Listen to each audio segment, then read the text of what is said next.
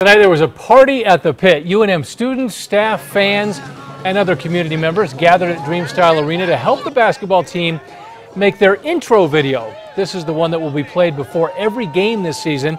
Intro videos are meant to get the crowd hyped before the game, and the Lobos thought who better to feature than the greatest fan base in the nation. We're just proud to be Lobo fans, and we just uh, we just love the Lobos, and like I say, they're our university, so we support them as much as we can. The Lobo men's basketball team is back in the pits Saturday at 4 p.m. for the Rio Grande rivalry game against New Mexico State.